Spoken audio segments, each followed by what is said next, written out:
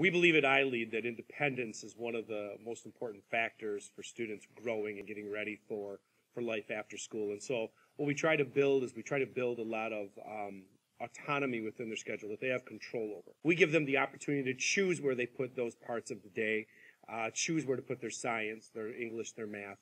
But instead of, in, in more than that, we actually have them choose how to show us that they understand and they can learn math.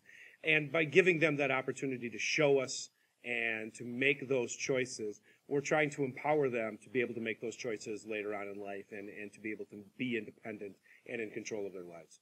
I also feel that the independence that we're trying to develop with these kids is really the important step towards them controlling their lives. And it's been fantastic for me to watch former graduates, including my daughter, who um, feel like they can take on any kind of situation.